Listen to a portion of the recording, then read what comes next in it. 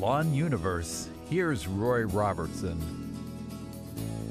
And good morning. Welcome back to Mira Mesa at the home of Lily Pham and Vicky Pham. Yes, people are so excited about Lawn Universe installations, they are literally doing cartwheels on the lawn. And Vicky, Lily couldn't do this before because your yard used to be dangerous. Yes, uh, it used to be rock around and then weed everywhere. Yeah. And you know they they've been playing here, but then it's I think it's too dangerous for them to running around and easily to fall down. You know. And now you've got this beautiful yard from Lawn Universe. So tell us how it is that you came to find the company.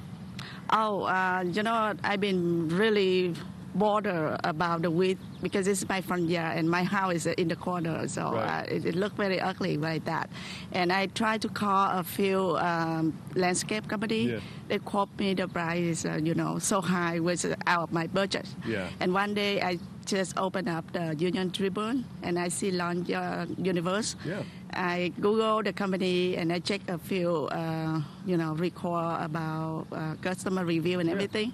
So after viewing them, uh, so I just decided to pick up the phone and call. Great. And one of the other things that customers are saying is how natural this lawn looks. Do you love it now?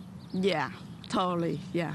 What a difference. We're going to show you more of the before and afters with Artie Rose from Mira Mesa, live with Lawn Universe. And that number to call, as Vicky suggested, 1 800 New Lawn. Call now, 1 800 New Lawn, to schedule an appointment and find out how your lawn can be transformed with lawn.